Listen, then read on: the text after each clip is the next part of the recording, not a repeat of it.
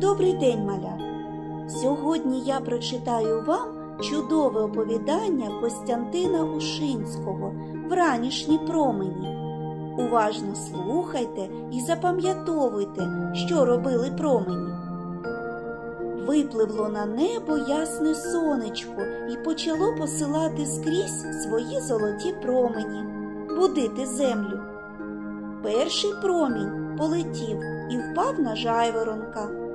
Стрепенувся жайворонок, вилетів із гніздечка, піднявся високо-високо й заспівав свою срібну пісеньку. Ой, як добре у свіжому ранковому повітрі, як добре, як вільно. Другий промінь натрапив на зайчика. Пересмикнув вухами зайчик і весело застрибав росяним лугом. Побіг він добувати собі соковитої травички на сніданок. Третій промінь заскочив у курник. Півень залопотів крилами заспівав Кукуріку. Кури позлітали із сідал, заквохтали, почали розгрібати сміття та черв'яків шукати. Четвертий промінь опинився у вулику, виповзла бджілка, сіла на віконце, розпростала крильця і зум-зум-зум полетіла збирати медок із запашних квітів. П'ятий промінь упав у дитячу кімнату, на ліжечко до маленького лежня ріже йому очі, а той повернувся на другий бік і знову заснув. Діти, ви запам'ятали, як називається оповідання? Хто його написав? Скажіть, будь ласка, скільки всього було променів? Який промінь розбудив жайворонка? Жайворонок стрепенувся і що зробив? Яку пісеньку жайворонок заспівав? Кого розбудив другий промінь?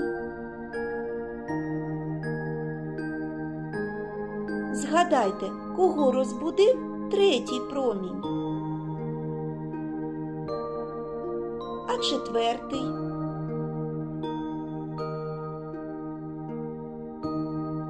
Як прокинувся зайчик? Куди він побіг? Що зробив півень, коли промінь потрапив у курник?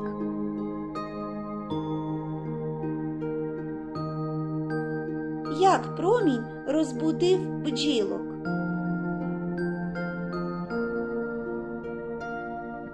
Каже автор про бджілку?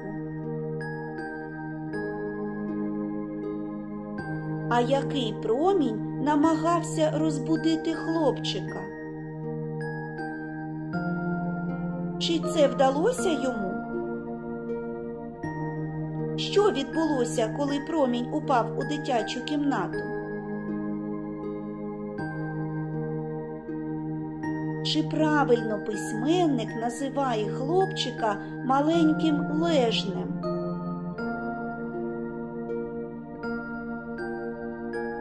А чи швидко ви, малята, вранці піднімаєтеся з ліжка?